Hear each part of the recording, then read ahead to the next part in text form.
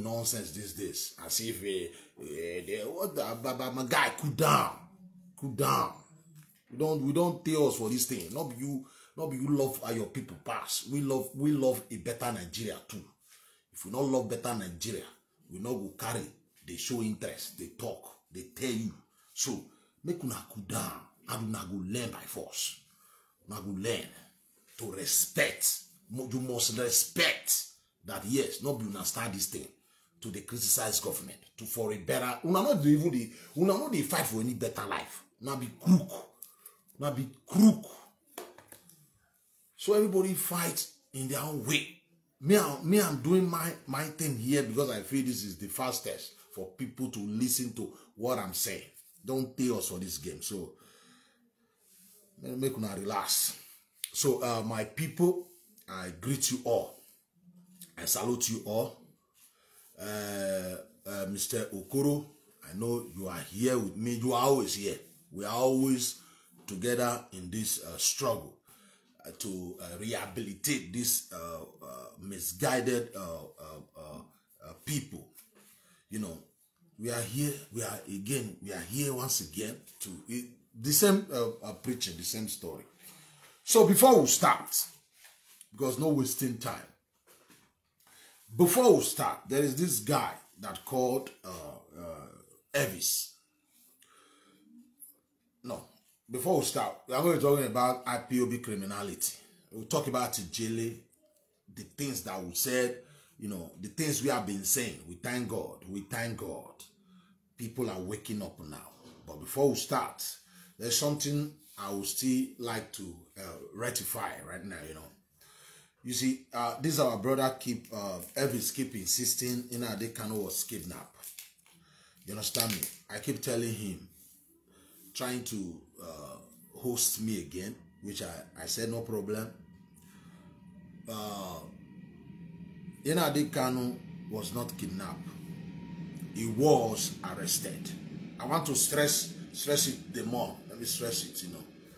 so that you understand what I'm talking about. The stupid boy was arrested, not kidnapped. Why? I'll tell you.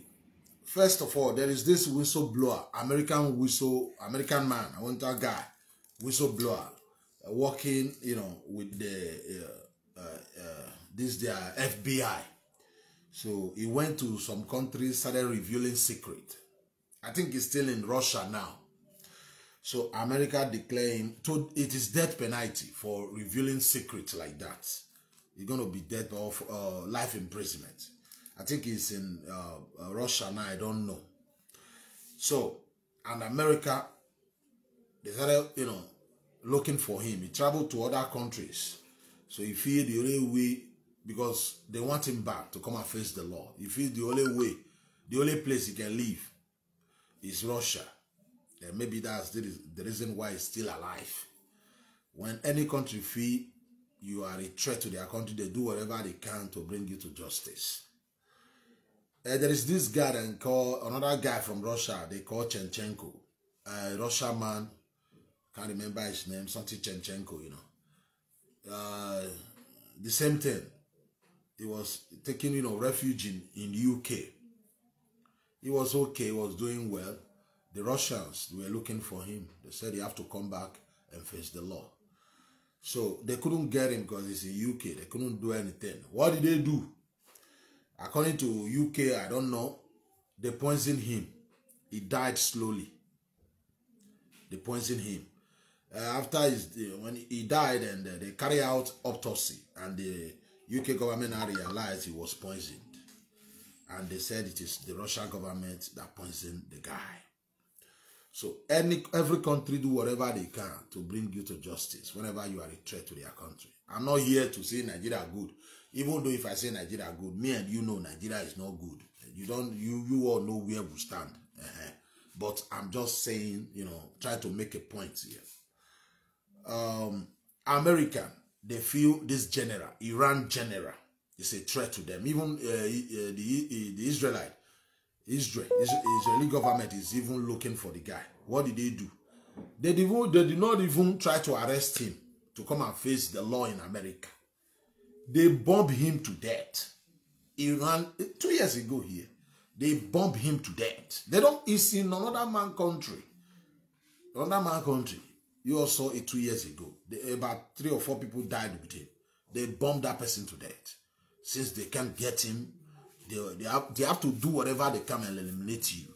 That's what, because all this country I'm talking about is not even Africa country. Oh. It is this superpower country. So, eh. so they bombed that man to death. Uh, Irani, uh, Iran government were uh, saying no, they are going to war, this and that. Everything died down. I remember the former president of, uh, the former president, I think uh, uh, Bashar, former president of Sudan uh, eh, ICC court is looking for him. He traveled to, to South Africa. And they were telling South Africa government to arrest uh, the Sudan, uh, Sudanese uh, president and hand over him to ICC court. They delayed that matter for over three or four days. Uh, the uh, uh, South African government, government couldn't do it because he went to he went there to for some African meeting So they have to put that into constitution. It can be is there, although he might be guilty, but he's there for a meeting. You can arrest him. So they allow him to go. But the ICC court were demanding, eh, you know, pressuring uh, South African government. So that's the same ICC court. Okay.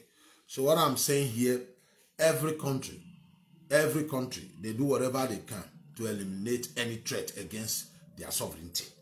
against their country. There are some countries you, you sign treaty together. Whenever I arrest a criminal, you are looking for a criminal and it's in my country for refuge, I'll arrest that person and hand over that person to you. If you have that treaty, fine. It's accepted. So, uh, in in the in the in Nnamdi Kanu's case, you know what what we are saying here, what we are saying here It is not because we don't like we don't like them. We don't hide it. We don't like them. It's our mission to make sure I, there's nothing like IPUB. That one is by the way. But what I'm saying now is not because of we don't like them. But if some of you uh, people that see this video say, oh, because we don't like them, we are very happy you feel that way because really we don't like them. now, these monkeys, you know, they can that stupid boy. The case of you know, they can is this Uh, uh, like this Elvis, who always kind of talking, talking. He was kidnapped. He was kidnapped. As if what uh, you kidnap and so what? What can you do? You want to go to war? What can you do? If you was kidnapped, eh, but you might see it as kidnapped. I don't see it as kidnapped. I don't see it as kidnap. And the reason why I don't see it as a kidnap is what I'm what I'm about to say right now. This idiot boy, eh, have a British uh, passport, supposed to be British citizen. The, the idiot in Adikano, supposed to be British citizen. Abi? Okay. Uh, he was in UK. He was in UK there ranting, saying all kinds of bullshit, creating his own uh, killer squad, foot soldier, giving them AK-47.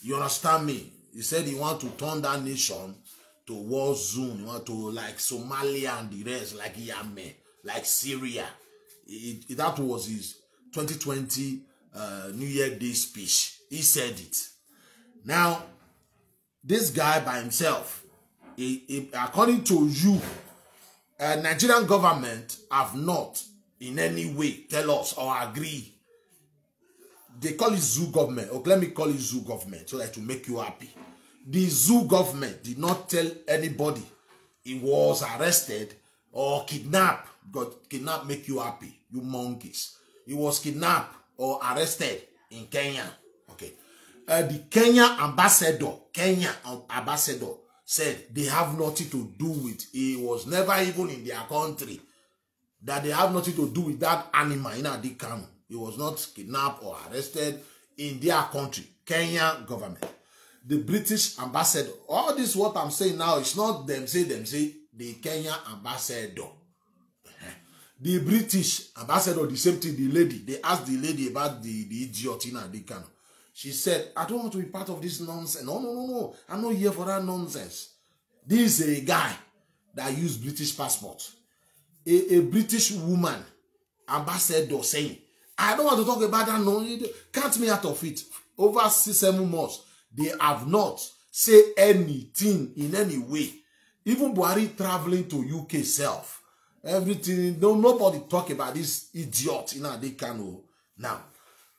They never tell us, the UK government never tell us, he, he left UK for uh, Kenya in any way. So this story of Kenya is coming from this same terrorist group. Uh, Elvis, you are listening. Eh, listen, listen very well. The whole story, the whole story of Kenya is coming from the same IPOB group like Elvis. Okay, that's good. Who are these Kenyan people? I mean, this IPOB, the same people who have been who have been spreading jubri, jubri, jubri. The man who said he was there when when the man when Buhari died, when they do the surgery, when they bury him in a shallow grave in that is with the DSS by now supposed to be hearing the Jubilee story. Even the Nigerian government, listen, even the Nigerian government is not talking about the Jubilee. They are not, the, the charges against Nadikanu, in Nadikanu, calling the, saying the president is dead is not even among. Like, we don't even know what is going on. Listen very carefully. So, you, like Elvis and the red are is ranting, saying kidnap, kidnap, okay. The Nnamdi the idiot, travel to Ken to Kenya. You did not know you Ken uh, you Elvis and your group, your confused group. You did not know. He was kidnapped in Kenya for eight days. You did not know. Okay. His own wife did not see the husband for one, two days, three, four, five, six, seven, eight before Nigeria government announced that the idiot is with them. The wife did not raise any alarm or complain my guy you don't you are not in the position elvis and your co-ipob monkeys you are not a monkey you, you are you are i see you as a as a brother anyway you are not in the position to be telling me something like me i'm telling you me like he was kidnapped you did not even know when he traveled if he traveled to kenya you don't know all these things the story of traveling to kenya I, oh, ah, Who is telling you all these things? It is this same group of, they call it DOS or all these fools who don't even know the whereabouts of their leader. is not telling you he was kidnapped. How did you know he was kidnapped? Did you know? You did not. You did not even know that he traveled to that place. How did you know he was kidnapped? What make you? Think? I don't understand. You are not the position to say that. Listen. Kenyan government, Kenya, Kenya's country, that country is over a million Eh, it's over 100 million people. After Nigeria, they are the second, or be the third, I don't know, of South Africa. I, we're not talking about the economy. I think they are they are the second or third largest economy when I say black. Kenya is not just like 10,000, 10, 9,000, 13,000, 14,000, Uh, population like them, Senegal, Gambia, this, uh, no, no, no, no, no. Over 100 million people. They, and they are the, the second or third largest economy. It's not a country. You can just go in and just take some arrest. Nigeria don't have that capacity. Like, you just go to Kenya. Not like America now, like Nigeria. Who, we are not even better than them. When you talk, when you, in terms of technology, I don't understand. What do you you think? You think uh, Kenya is a village?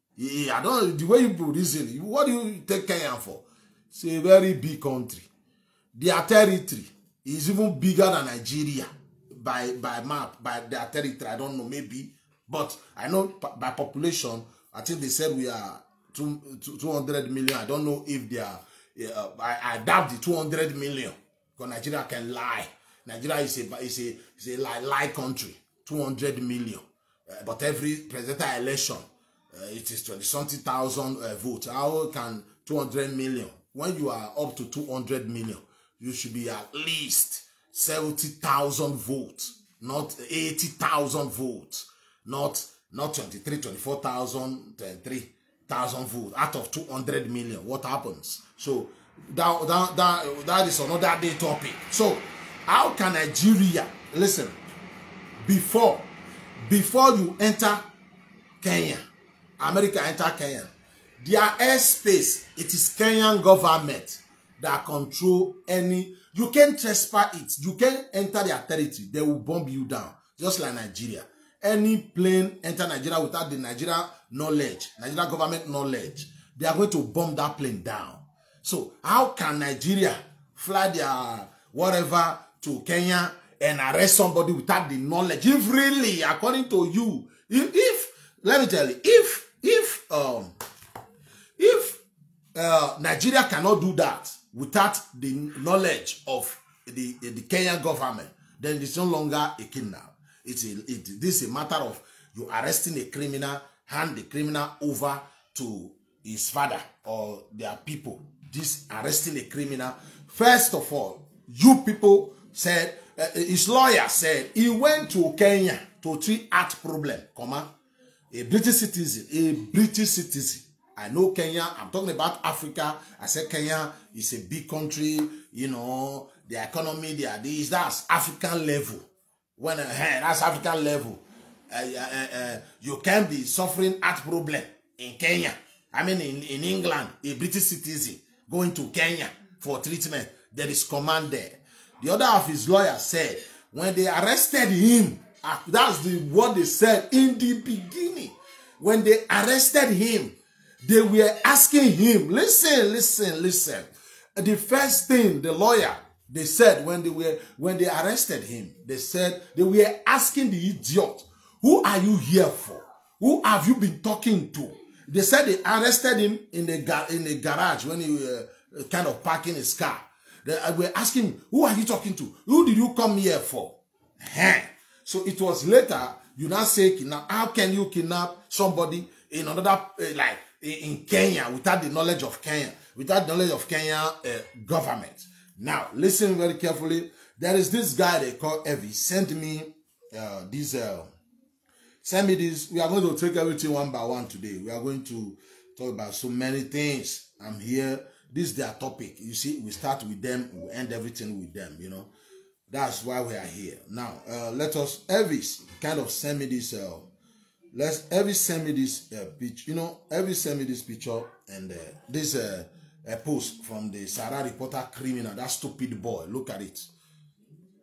look at he sent me this he sent me this he said look at it according to uh, why he's so happy you know john he said kenyan fight court paper shows there was no official record Nnamdi Kanu left East Africa country for Nigeria. Again, look at it.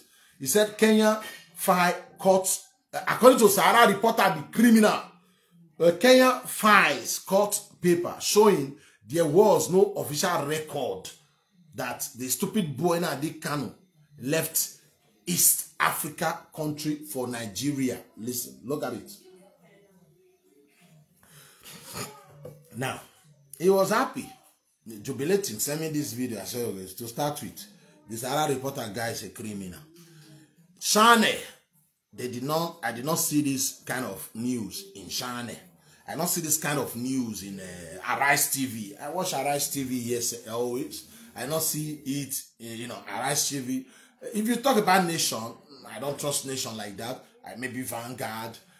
Uh, what again? Uh, uh, uh, TCL, I mean TVC, uh, TVC. I not see it's only Sahara reporter. The crew who always uh, sit down, notice me in the court. Okay, okay, uh, okay. Let me say, okay, you you guys are right. It is true. Uh, Kenyan government say this and uh, okay. Let's uh, say uh, okay. What uh, you. Uh, the, you, what you posted uh, concerning Kenya is true. Okay, let us take it from there. Now, this post here, this post here saying the Kenyan government say uh, uh, uh, uh they, they filed a court paper showing that in they can no official record that the idiot the idiots left East Africa. East East Africa East, East Africa is not a country.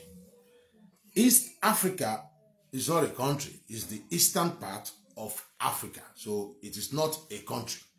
Uh, if they want to, if they, according to you people, oh, if the Kenyan, the Kenyan can only speak for themselves. Um, the Kenyan government can only speak for themselves. If Inadikano was in Kenya, let them say it. If Inadikano never come to Kenya, let them say it. They are not the one to speak for the Easter. What is East Africa? East Africa is not a country.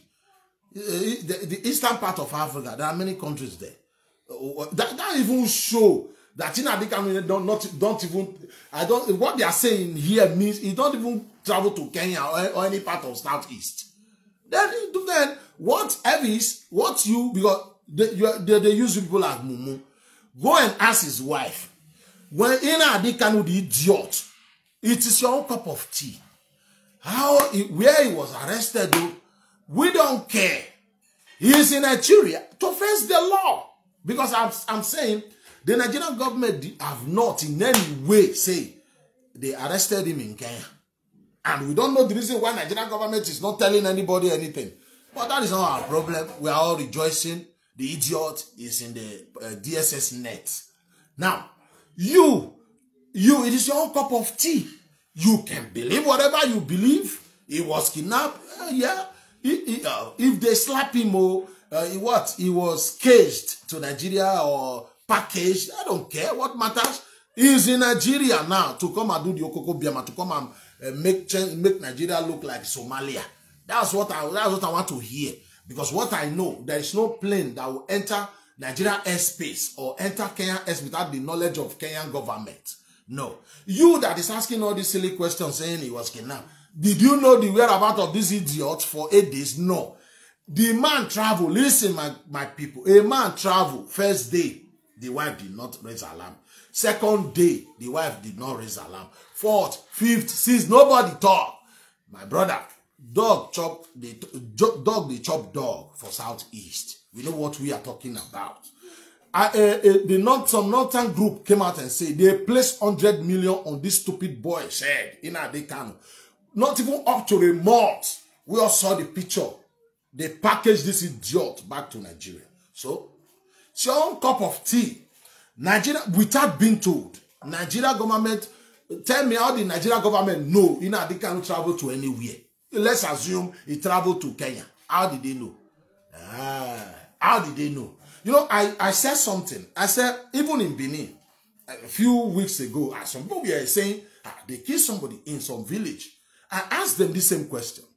They said, is they Fulani? I said, Fulani?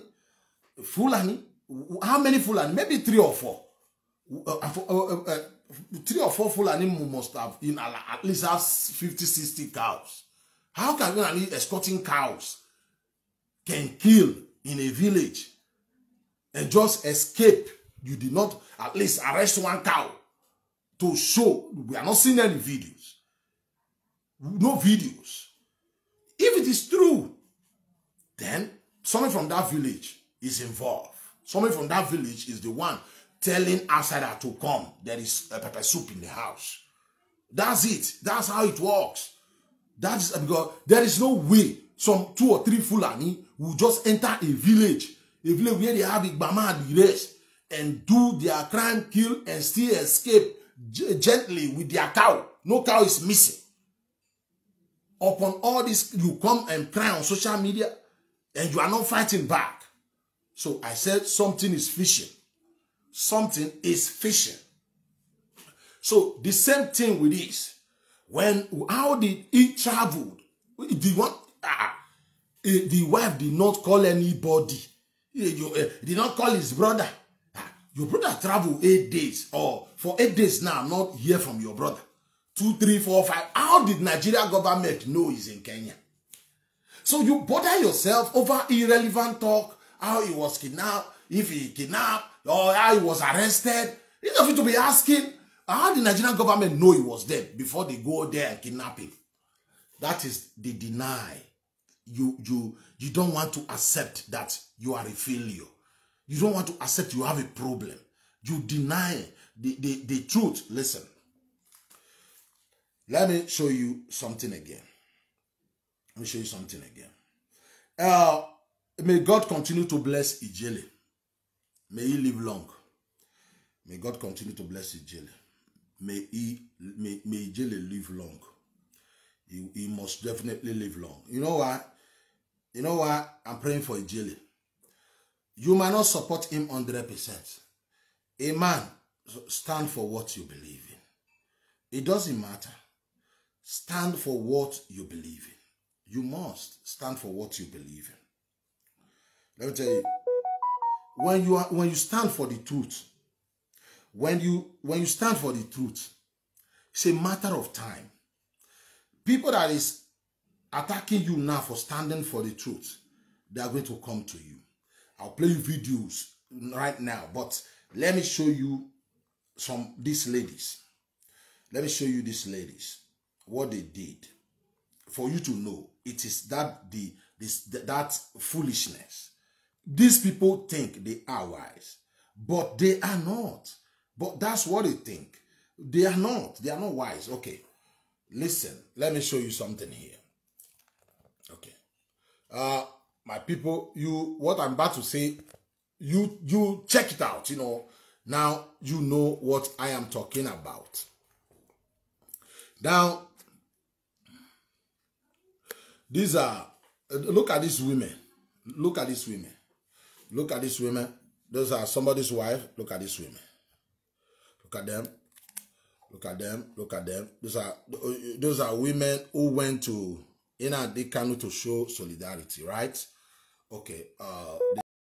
they went to the court to show solidarity with their bra, with their bra to show solid. This this how they show solidarity. Look at it. They went there to show solidarity. They removed their bra. They want to show solidarity. Okay.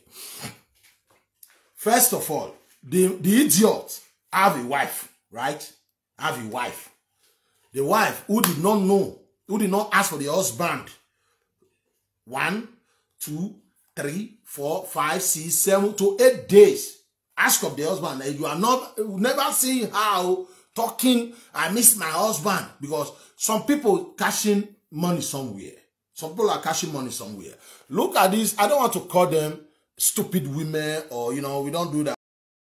because they are mothers, you understand me?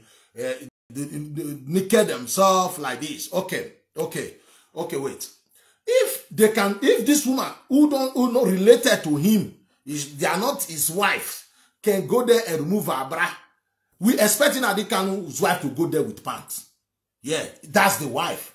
Inadi, that's who Inadikanu is having uh, with, who's giving birth, is, is taking care of his children. If another person's wife can go there with a bra, his wife supposed to go there with pants. Yeah, supposed to go there with pants. Because let's assume my, my, my wife, uh, you say you are Igbo, wherever, for instance, you are going there to show solidarity. The first thing I will ask, okay, who is leading the who is leading you ladies? Is it the wife? Because you have a wife. Because if I am the prison, will Nina Adekanu's wife come for me? If you cannot, I don't understand because you can go there and be doing that for a man that is not your husband. I'm not the one there. I'm here. You are wearing bra. The wife is not wearing bra.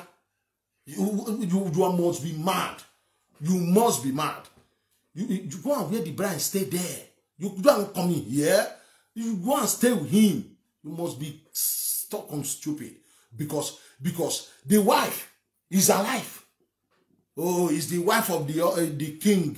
The wife of the holy holy uh, uh, uh savior. You must be mad. Me, I be holy holy savior too.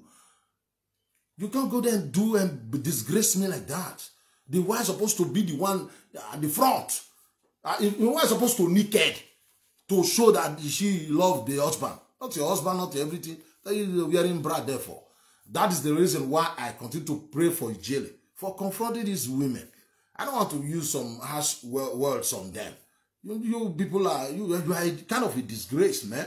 You are a disgrace. Eh, eh, eh, you have not come out and there are killings in your land. People are living in pain in your land.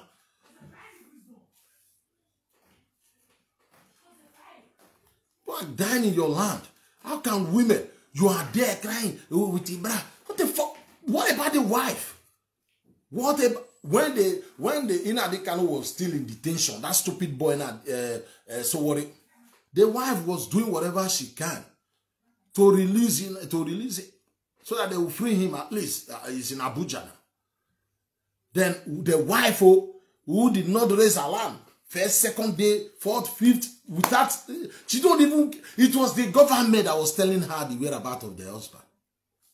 Then you call these people, they are normal. No, no, no, no, no, no, no, no. Everything about these people, they are sick. And that, we are winning them. Can't you see? We are winning them. You know why we are winning?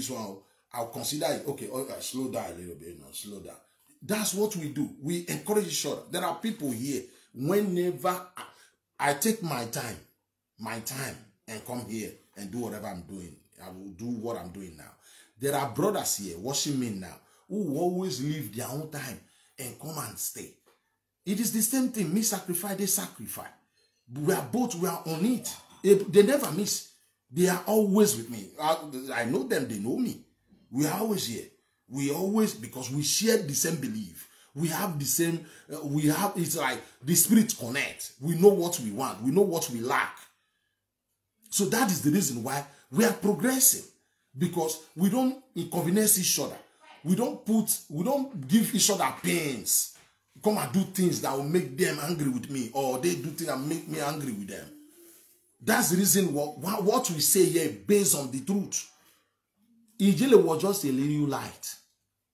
Light, small light like this. Small light, small light in in in in uh, in in Turkey.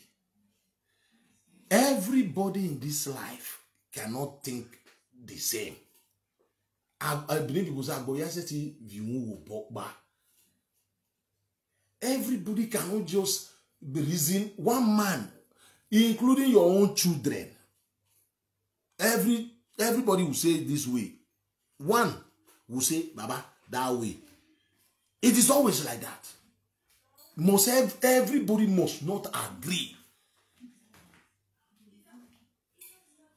One man say, I don't like this idea. Then they gang up against him. They gang up against him. They want to, they want to do him, do to him what they have been doing to others. They call you out, sabo. They do whatever you go and you go hiding. Yeli say, lie is what you sow, what you reap. I saw him today at um, AIT. They were interviewing him. This is the beginning. Of, oh. yeah, not everybody you you you slap. Not you slap and go home and sleep. Not everybody. Ah,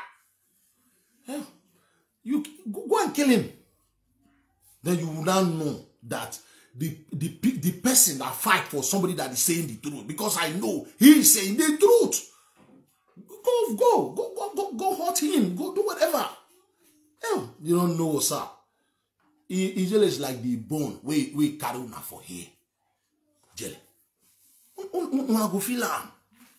He was minding his business in Turkey. I, well, the day I make a video here, Let me see if I can see, get the video. I said, stop. Don't do this. We were all fighting. We were all contributing something. We all contributing something. Every something. For him to remain talking. They were all sitting down. Uh, is it in Adekano prophet? That's in-law. Donate money, they will donate, they will deport him now. As if Nigeria is not his father land. There are some people you slap. The only way for you to have peace with that person, that person is going to slap you back. And that's it. To me, sometimes that's how it works. One man, what others cannot do, sometimes he will go to the court and confront and challenge these animals. It is what he believes in. When people will saying. Ah, I don't they will come, they will come and kill me. No, this man will stay. Not be one time person they die. He will challenge them.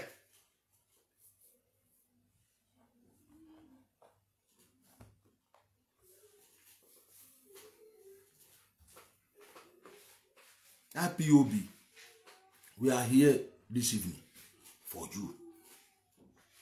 We are here for you people. We are, we are going to take it one after the other, one by one.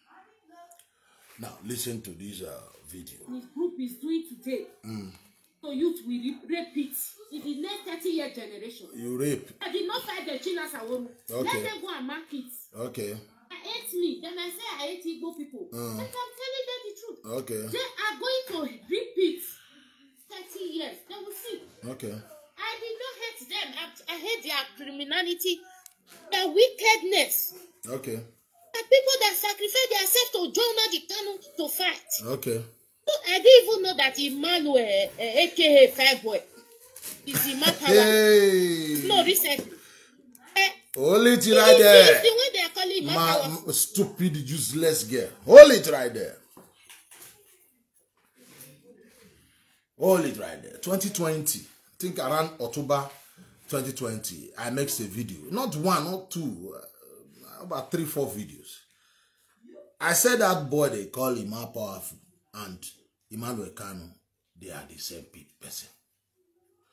This is what the idiot will do. The Imam, Imam when you see the most cunning, you know cunning, you know cunning. This group, this IPOB Igbo group. Sorry, Igbo is in the house. This group, the most cunning. I'll play you some videos here. I'll continue to prove to you the other day we were uh, uh, uh, dada i learned something what did you learn from nnamdi Why you connect lying what did you learn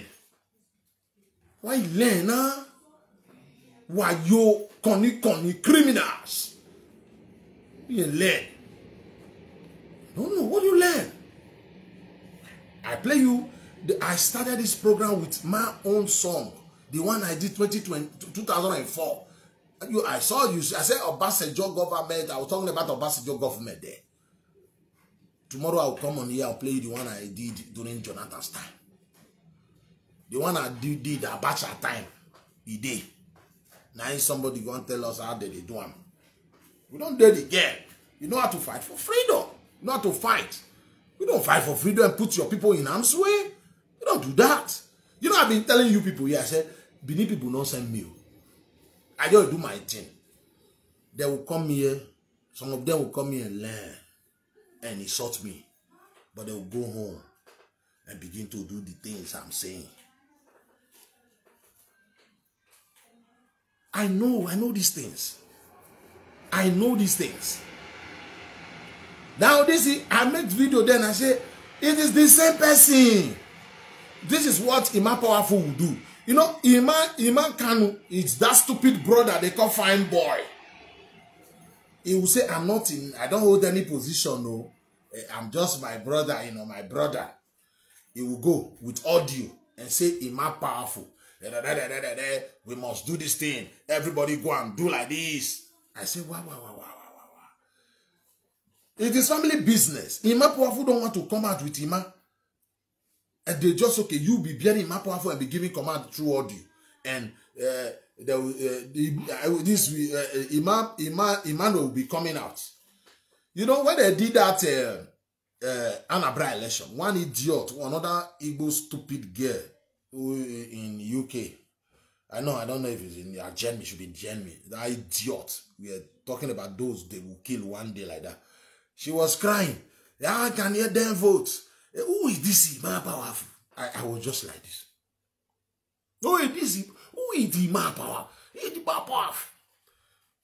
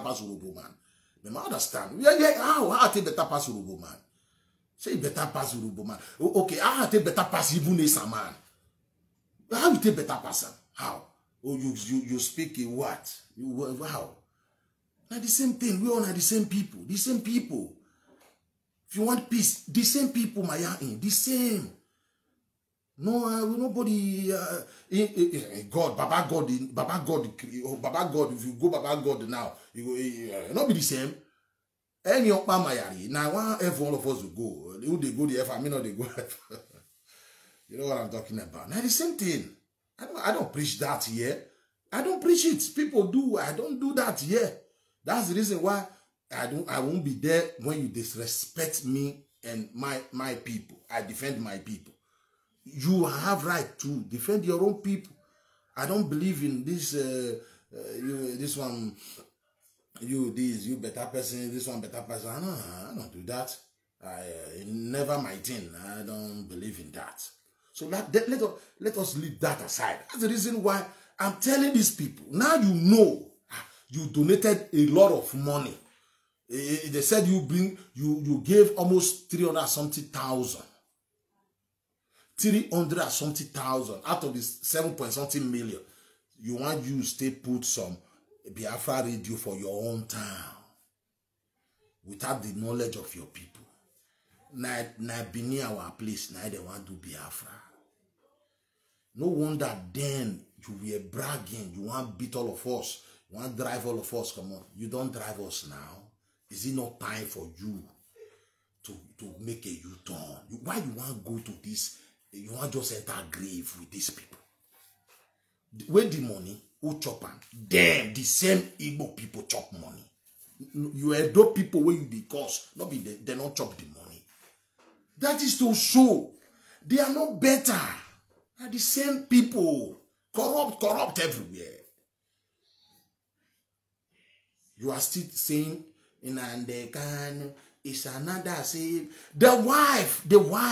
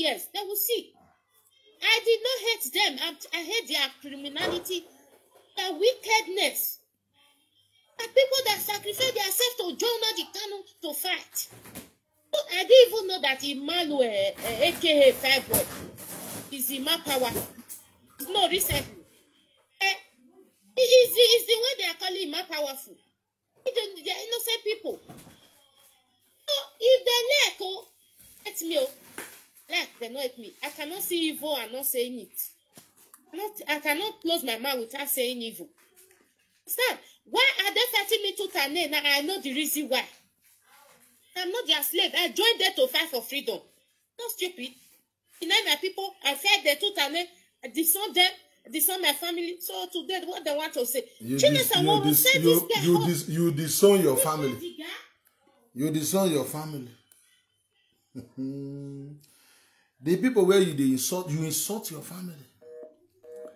All this monkey, Igbo Onyamiri monkey, they go disown their own for you. You insult your family. You have your mouth. A responsible, intelligent person don't supposed to insult your own family. It's a matter of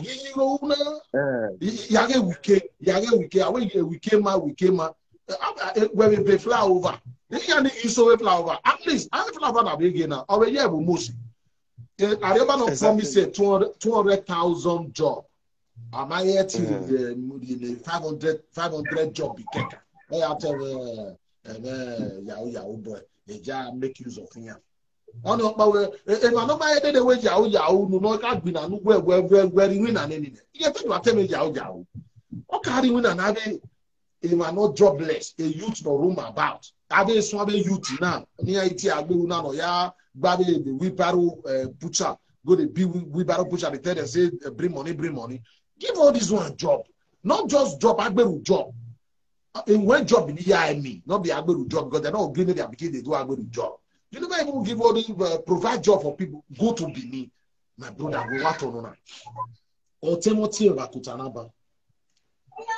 We are, there is danger ahead. You know why? Listen. The rate, in eh, the only quick money now, it is it is selling of land. Selling of land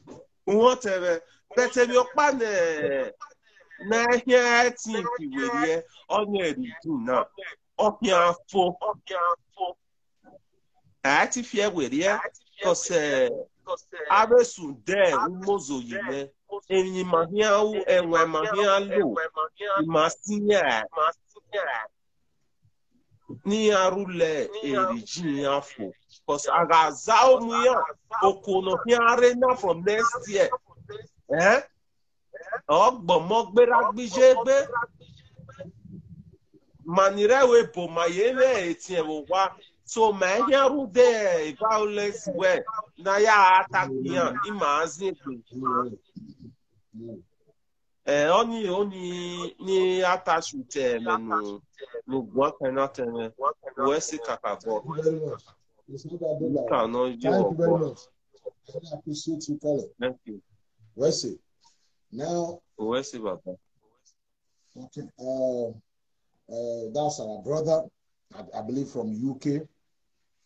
Uh, you know, uh, we really, it's like we deviate, started talking about our internal uh, uh, problem know, Every state has their own problem. We have our own problem too, and uh, we, with God, we know we are going to we are going to solve it. Now, let us. Uh,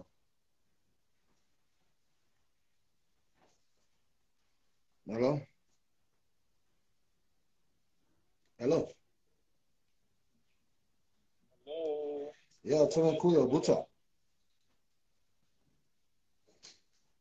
one more. Okay,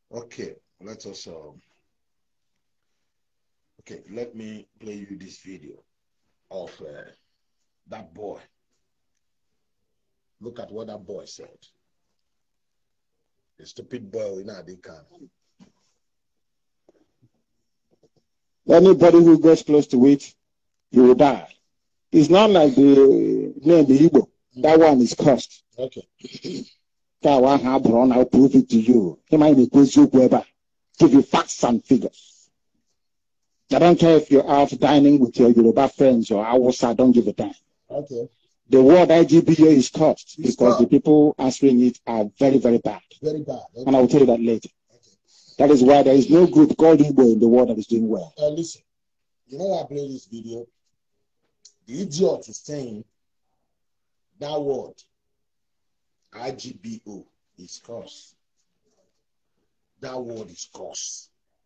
There is no group that associate themselves with that group or bearing that any name that relate to that group, IGBO, that is doing well. They are traitors, backstabbers, killers, liars. So that name is cursed. They have never achieved anything with that name. That name is a cursed name. So their name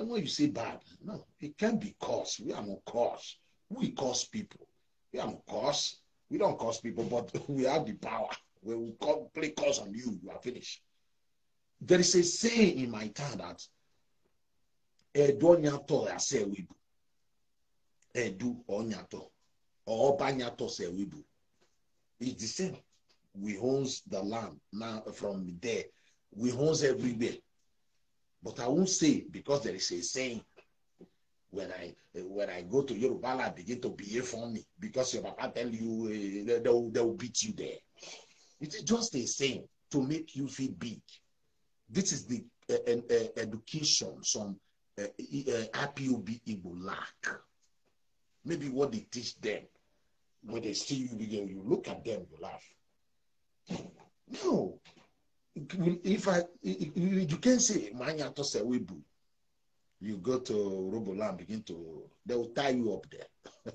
then you will know that you know your boundary.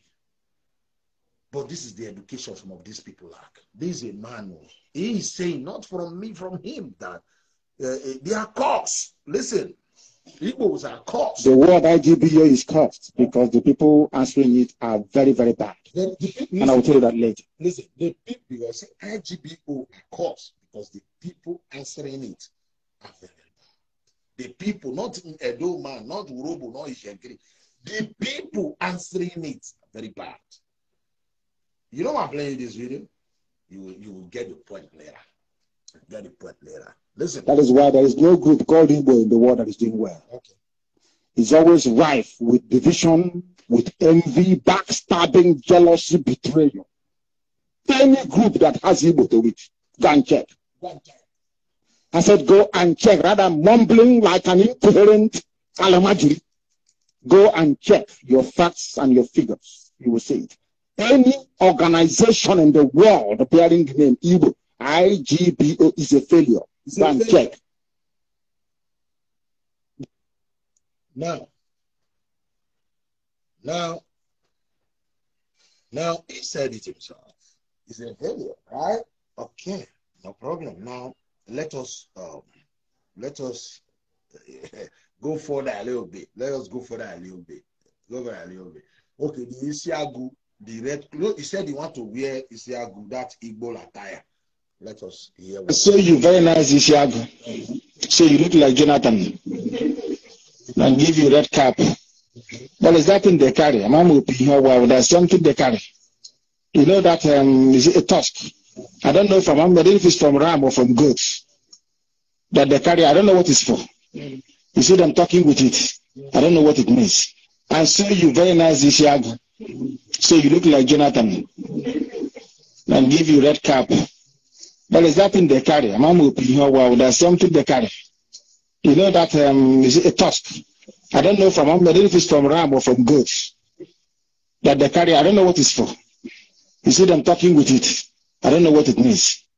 So this idiot, this idiot, monkey, this Yagu, you see, the carry this. He was describing the, the same Igbo attire.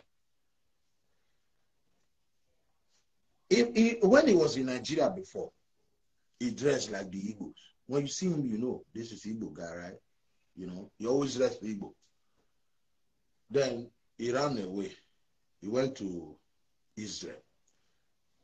Have you ever, when he was in Israel, have you ever seen this idiot dressed like Igbo man? No, okay. He from there, he started putting up this small cap is is like a Judaism thing, you know, this Judaism.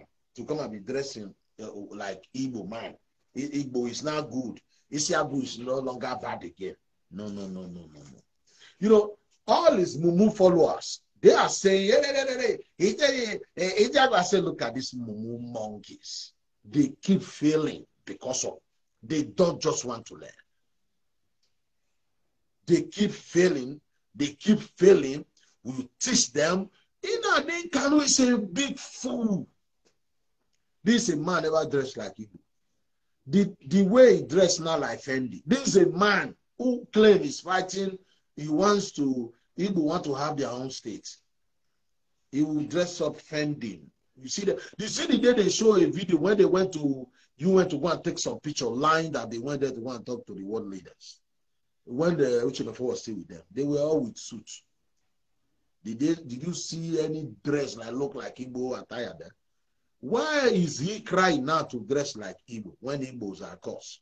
Isiagu, this and that, they are bad. Why he wants to be, he want to dress? Why can't he dress like Rabbi? Okay, wait. So you very nice, this Isiagu. So you look like. Let him dress like. Oh, I'm coming. Let me show you one of his picture here. Why can't he dress like Rabbi?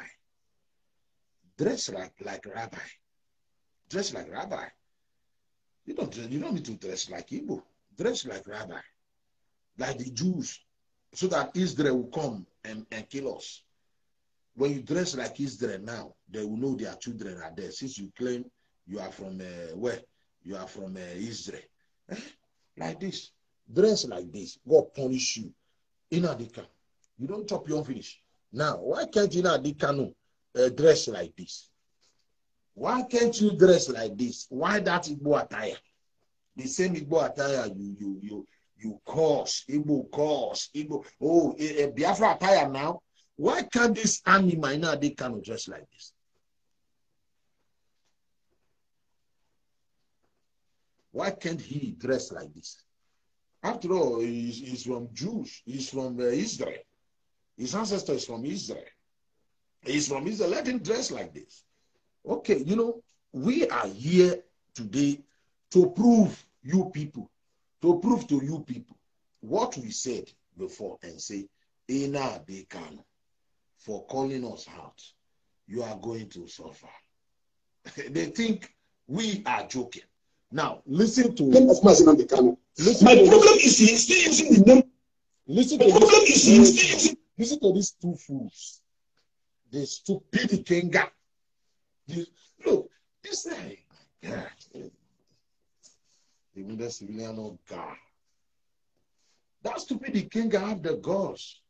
He makes a video called If he's insulting me, he's insulting me. and said he's going to send people to come and eh, cost me. As if, you know, there are some people that will cost you it will like somebody you know okay this guy is cursing me ooh uh, ooh people like him uh,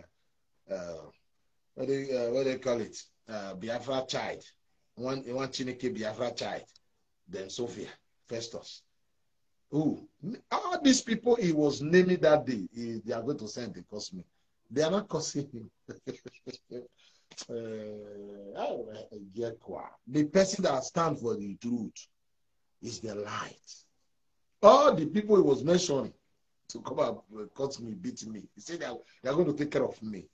There are the people swearing, insulting him now. the idiot now, they are now ganging up against their, uh, uh, the idiot against Amalakpa. You know, have you seen Samalakpa picture when, when he would uh, go and buy some share and dress like king? sometimes carry knife, sometimes you carry gun do like this. We are coming to Sometimes he will carry a rubber gun. He will do like this. He will aim and do like this. We are coming to of Junior. All of those, yeah, yeah. Eh. when you see him sit down, dressed like king, like sometimes he will hold knife like this. Sometimes he will hold one sword. Sometimes he will just pose like like king, as if he's, you know,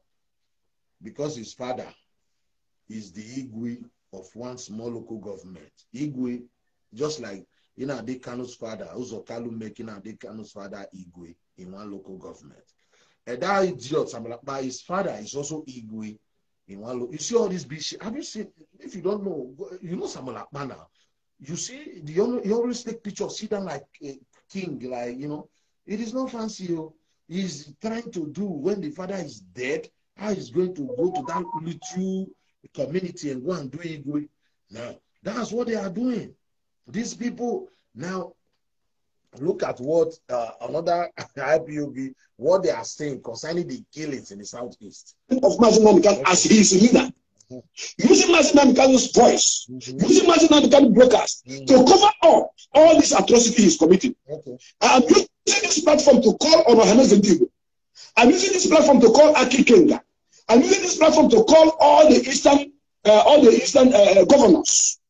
all the senators, mm-hmm. and every Igbo man to stand up mm-hmm. and look for this man called Simon Ekpa, who lives in Finland, and hold him responsible for every killing, every killings, enforcement okay. of state Rum on every Monday in Finland. land. Mm-hmm. I know that the government have come with their embargo Mm-hmm. Using that enforcement which this guy called Eba is doing with his boys on the ground to perpetrate in our land, then adding, adding fuel to the fire. You know, when the, when the fire is burning, you pour fuel, you know what is going to happen. That is what Ebubago and the Nigeria force are doing. It is a fire that has been set up already by Eba and his, uh, and his boys on the ground. Simon Eba, I am saying it and I have my evidences. And when the time comes, I will show the world that you, you, Simon Epa, mm-hmm. is behind the burning of shops, destruction of cars, motorcycles, mm-hmm. bicycles, beating of, of, of uh, children in Biafra land every Monday. Since Mazinan can ask us that we should mm-hmm. lift, that we should, uh, uh we should jettison that order of sit at home. Okay.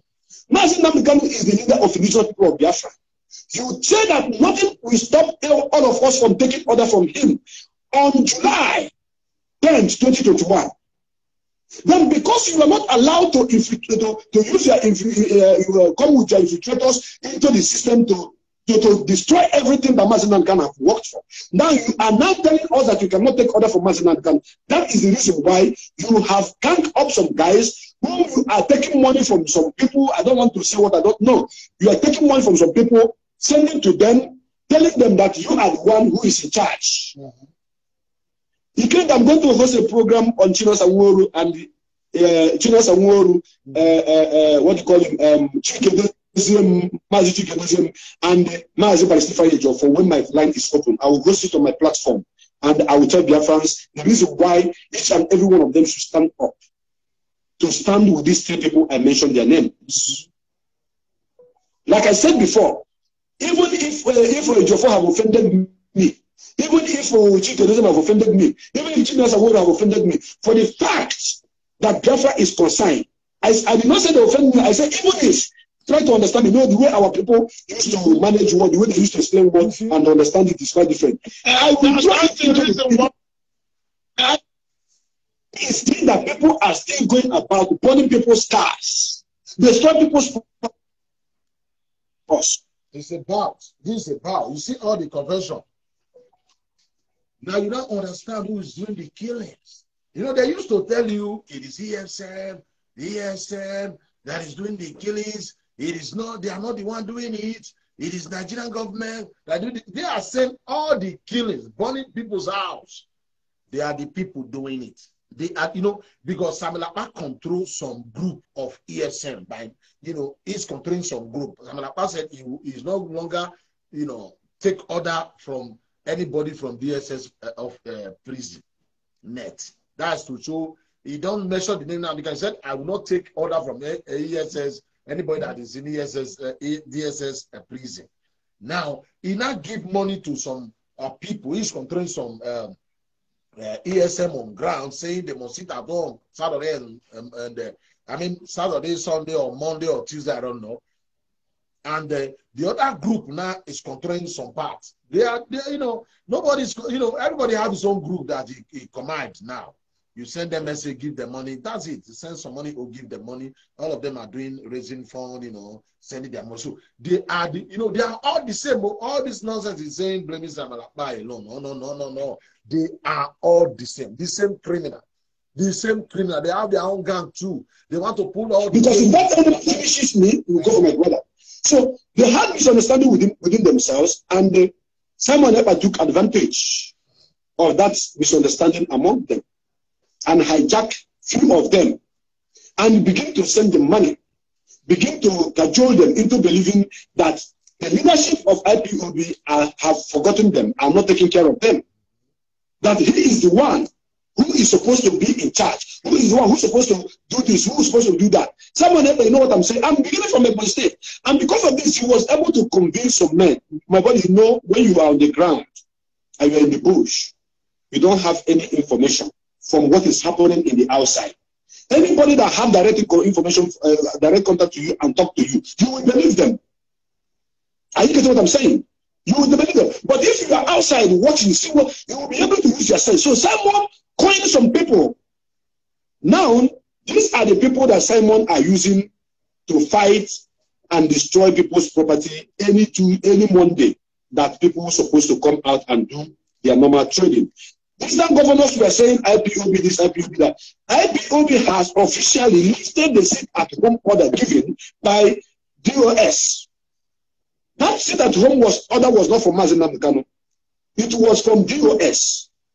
Okay? And now, since it came from DOS, DOS now said that this our leader said I am not supporting it. I leave it. Let people go about their normal business. That is to show the kind of heart that that man has. People are sitting at home to, for solidarity in his support, yes, but let them do their business. Let be follow instruction from DOS, and DOS announced we are lifting this particular syndrome.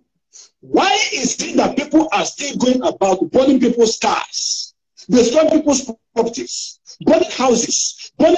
We should open shop that they come and burn your shop. The person in charge of all this atrocity is Simon Ekpa. You can, I'm saying it categorically.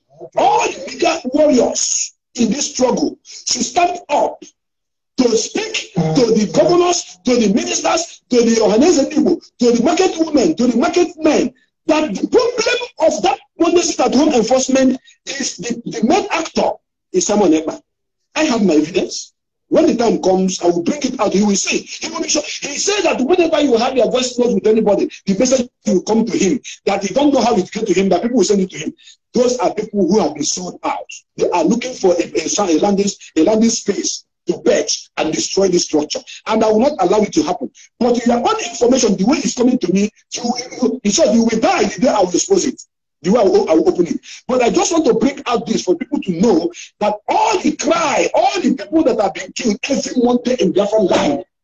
this uh, yeah, somebody said here we should take care of this admin should take care of uh, Harry uh, Ajelo, who are one giving you respect. It's better to give it to. Okay, uh, you see now how this guy is confessing. The people killing, people burning houses in the southeast is no longer Nigeria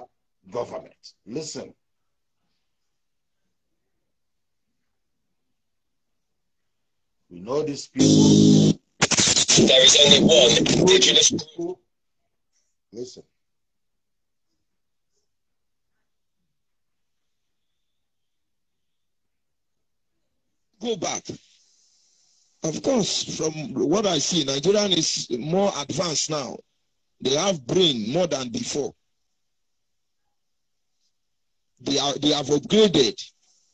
They've seen the errors of their way. They have made amendments, and they're having a field day over our misery, misunderstanding. Am I trying to preach it? No.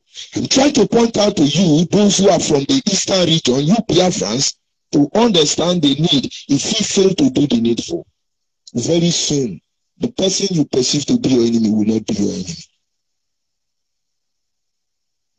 when i studied that there was so, a lot of betrayers, sabotage everywhere it was almost impossible for the component nation that make up the biafran region to work together and so after Dakaburu was apprehended, locked up, there were these misfeelings from his people. Maybe they were not that exposed, they couldn't do much, but they kept quiet. And then barely six months after all, Dimchukwu Emeka saw the same thing Adakaburu was fighting for.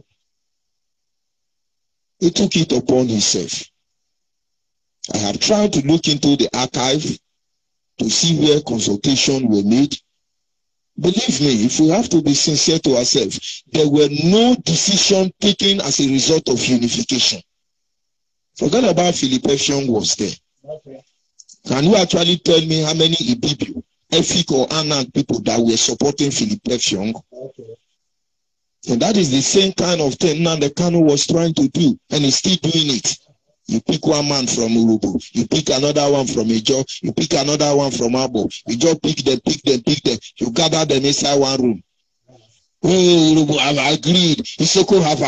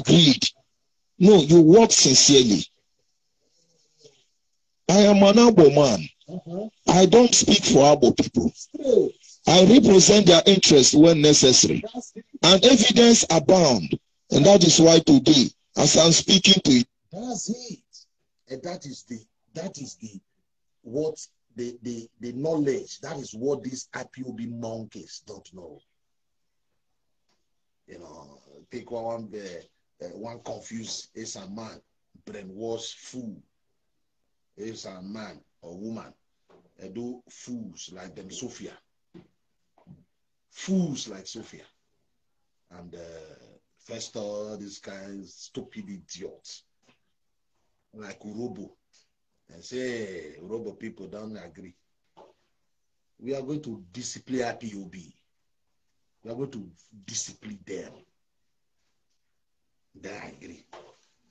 You hear him? He said, jo Johnny Bay don't speak for Agbo people. Uh, which Agbo people send you?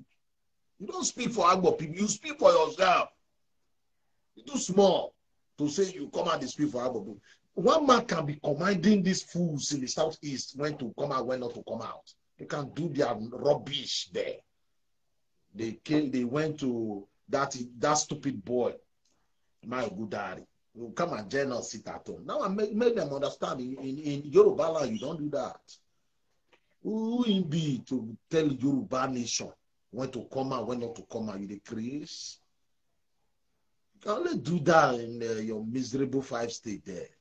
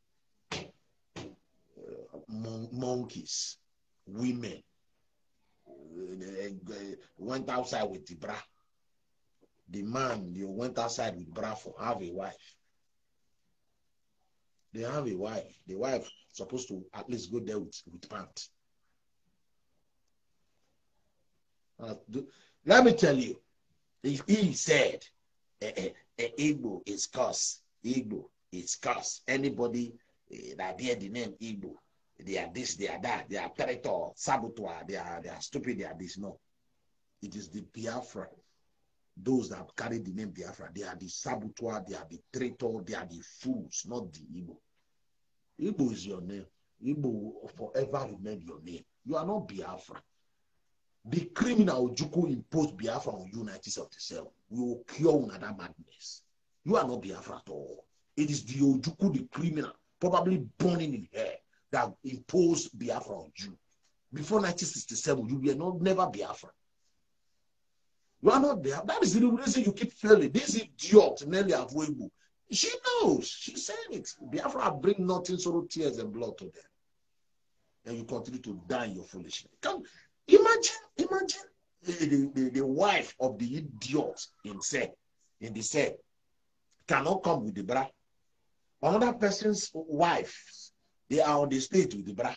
Does that make sense? The wife of the idiot is somewhere drinking a juice, cold juice. They not come there with the bride. But how, how, how did that happen? Because most of these women, they are the one controlling their husband.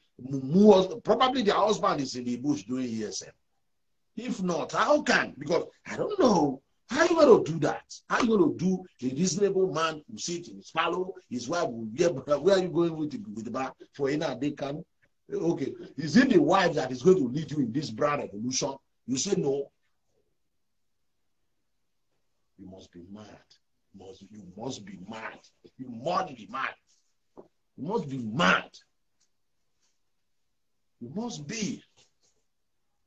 So it is because of when I say miserable land, this is what I'm talking about.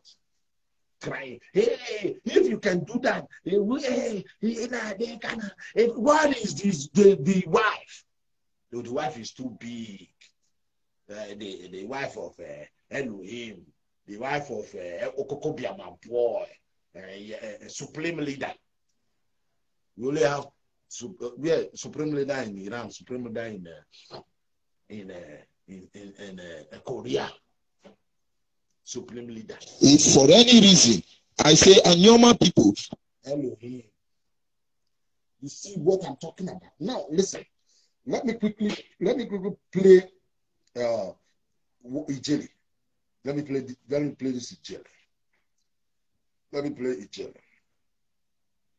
Play Ijeli here.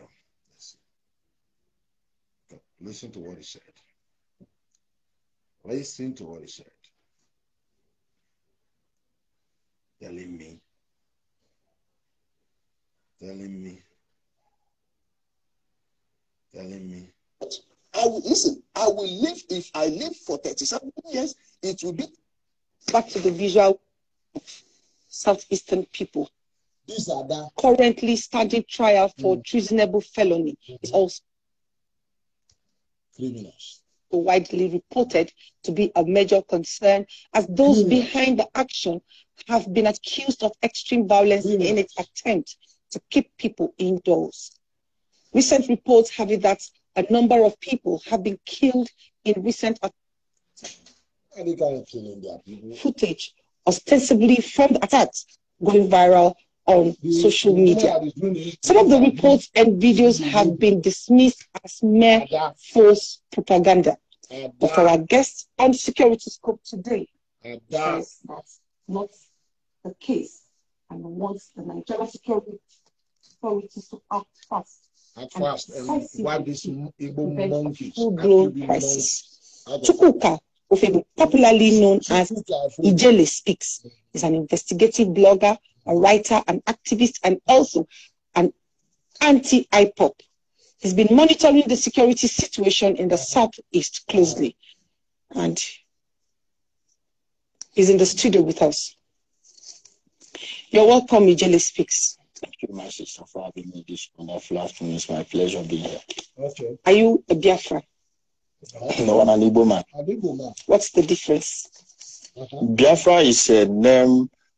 that was given to uh, eh, breakaway republic that Ojuku and his friends mm-hmm. created in 1967. Mm-hmm.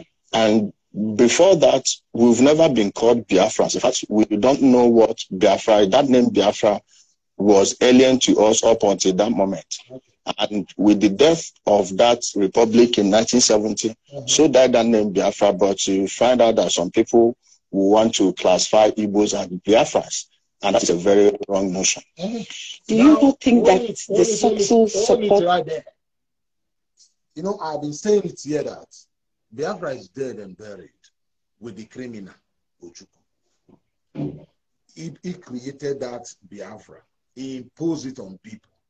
sending 10 years old, 9 years old to, to war. And that's the reason why the, he died and they buried him with Nigeria flag. yeah every day I keep telling you, I keep saying things like, you are stupid. You guys are stupid. Where were you? You know, they they created five states, five states. Uh, when they were creating states, they said only Igbo in Nigeria, only if not, I'm too, but I'm only Igbo. You now have five states. These five states, it is 99 percent or eh, you know 90 percent or 99 percent all Igbo states. Igbo governor, five governors. You will forever have five Igbo governors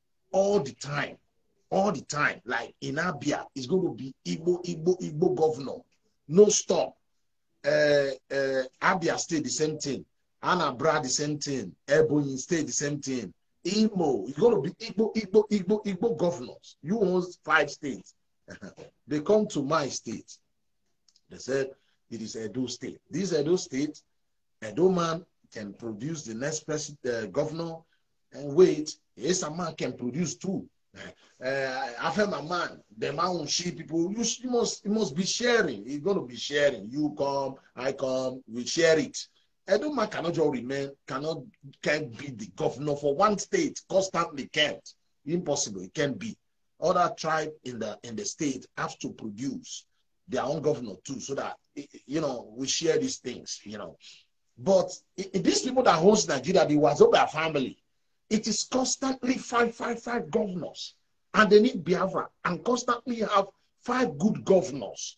You understand me? And they have over 15 senators representing this tribe.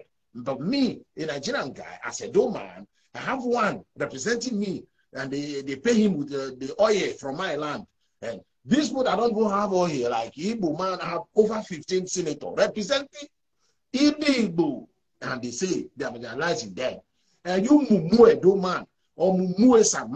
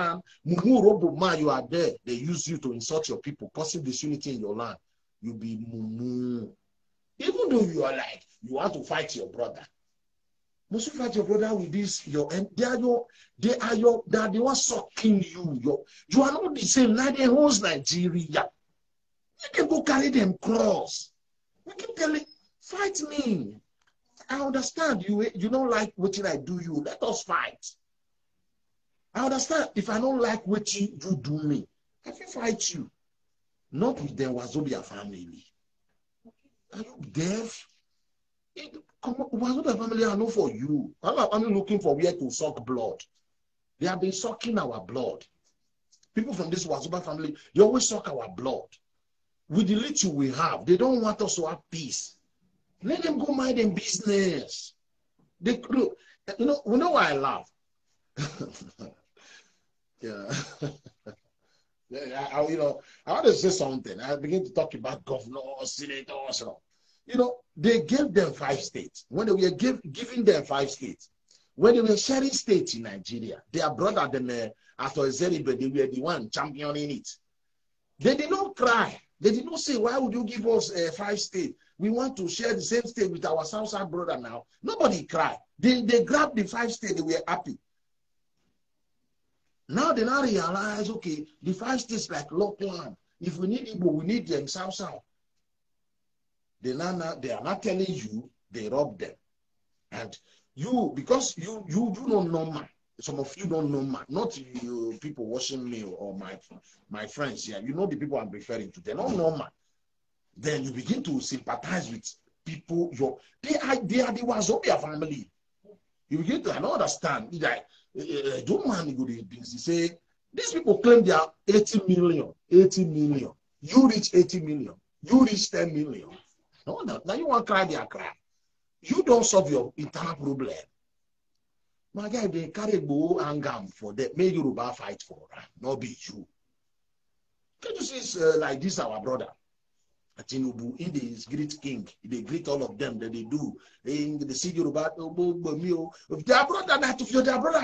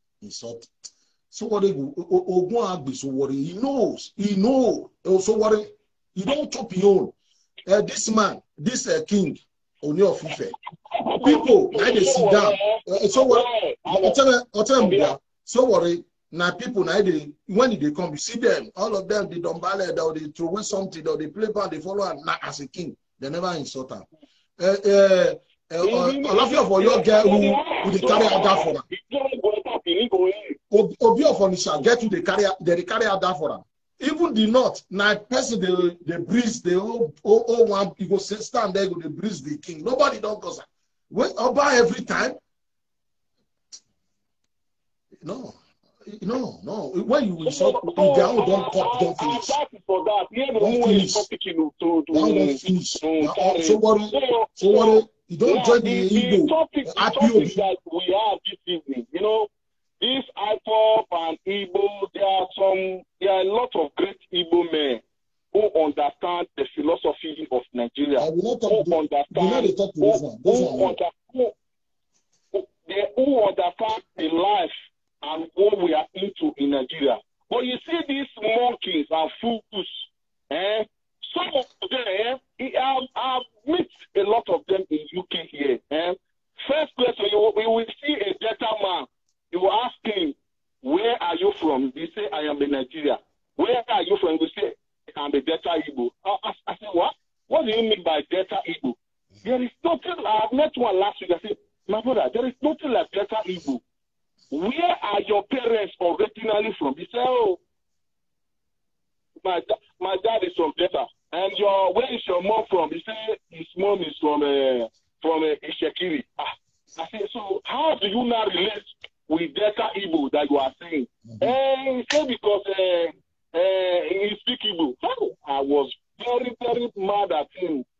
and I was annoyed. I said, look, you are a misroad charge. I said, you better go back home and meet and answer. This guy was still arguing, trying to argue, trying to you know, talk a lot of things. I said, okay, now, okay, now, I, I want to cool down. I want to understand you better. I said, come. I asked you again. He told me where his parents were from and all of that. I said, okay, now, I want to ask you one question. Just answer you. I want you to understand. Here I am. I want you to understand.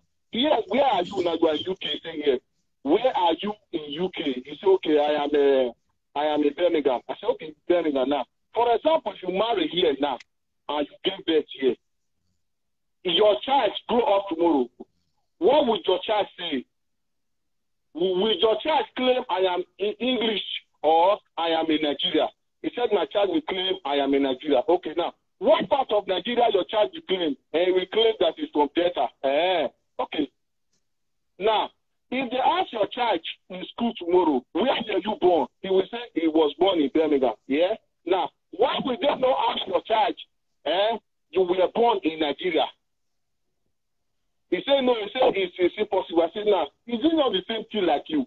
You said, you said to me that your, your parents are, eh, your, your, your father is, a, eh, your, your dad is a better man and your mom is a Shekiri man. And you were born in Lagos which means you are a Lagosian. Mm-hmm. You are not as Igbo, man as you claim.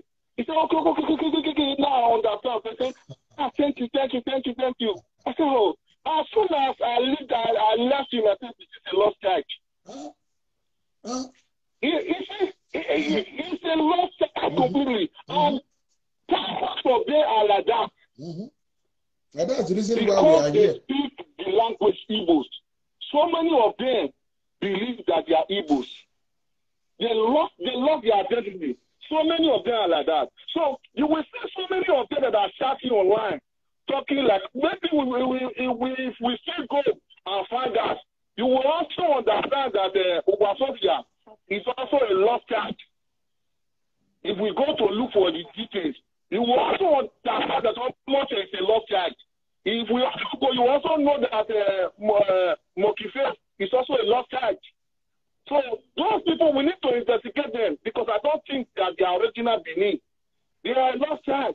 So from them, we will be able to trace where they are from. So that is another one. Then two, when these people start, they started by, oh, they were Biafra, they were this, they were this. After we come and see all of them, eh, they will claim that they are Nigeria.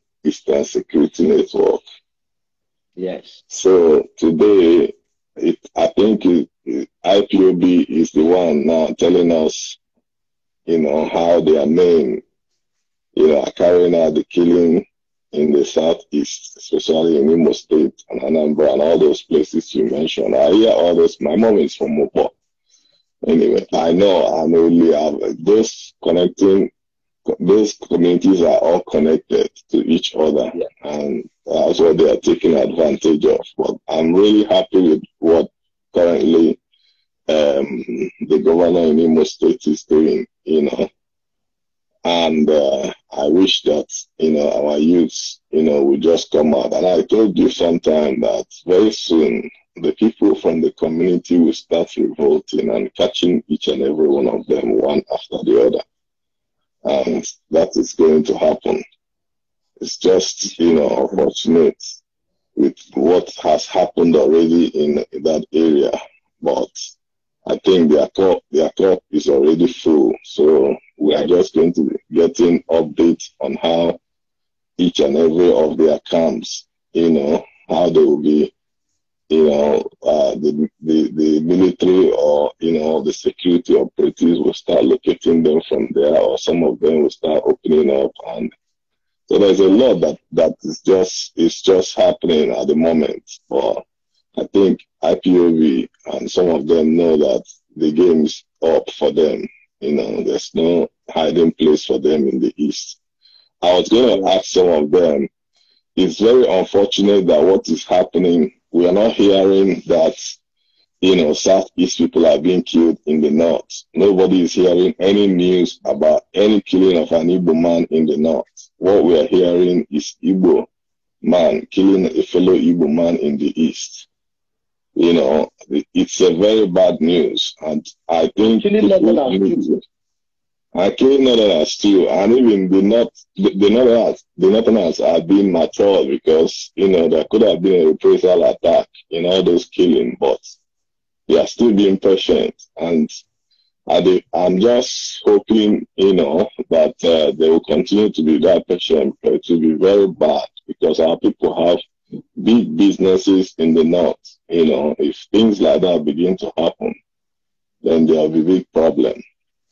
The the thing that is going on in IPOB is they are just making money for themselves and you know using the blood of their brothers and their sisters in the east to make all those money they are making. And it's, it's just unfortunate at the end of the day. But, you know, I thank God that you've been very consistent in what you are doing. And, you know, it's yielding, you know, good results. You know, if you look at your page, you will see, you know, uh, from when you started, how, you know, people were bombarding you. If you come to that page then, you will see a lot of them coming there to but now you see that they are running away because even when they come, they attack they get, they get from your followers. They run away from there. You know, so it just teaches us in life, stand on the path of truth, be consistent with what you're doing. Over time, it will yield fruit. And, you know, it's, it's what is happening today. You know, I call some of them, you know, from their own live videos and I ask them very simple questions, you know, and they can't even answer the questions. And I wonder how these people, these people reason. You know, I asked one of the guys when he was playing the audio that was currently released that uh, they, they, were talking about uh, the head of their DOS is being paid, you know, two thousand euro and all that. But we know we started saying this thing before now, and they know the truth, you know, and what the guy I was asking him, the audio that you just played. Now, if you listen to that audio, that audio now exonerates the, the fact that people have been speculating that it's DSS that is doing the killing. When you guys are doing, we don't hear them anymore saying it's DSS that is doing the killing. You can't hear them say that anymore. Now, it's either they are saying it's um, um, Igba's boys that are doing the killing, or Igba is saying it's China's boys that are doing the killing. I mean, these guys, and the problem is that our people have very short memory. It is not, if we just go back to six months ago to some of the videos that, you know, that they were doing when they started all this killing and they say it's unknown gunmen, it's DSS that is going to burn DSS office DSS, killing fellow DSS and all that, you know? And to be honest with you, there's massive change that is going on. I've spoken to some of my friends that, you know, then they could argue you, you know, argue with you about, you know, uh, IPOB. Now it's very clear. If I talk to some of those friends, they are saying, oh boy, this thing is out of hand. It's not what we, we think that it is. I've spoken to so many of my friends. Some of them are even denying that they never supported them, but then I know they were supporting them. You know, so we get, we are going to get more of these statements that are coming out, confessions from different people. More is going to come. All this nonsense parade that uh, um, the lawyers are doing in court. It's just nonsense. They know the truth. You know, this is the problem in Nigeria we know the truth. You know, the, these guys make money, you know, and they don't care how